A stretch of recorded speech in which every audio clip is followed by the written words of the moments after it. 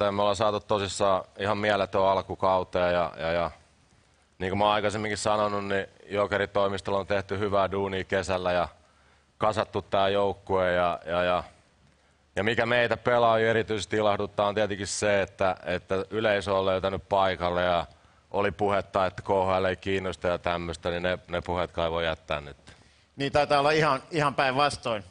Siellä kundit pelaa nyt, mutta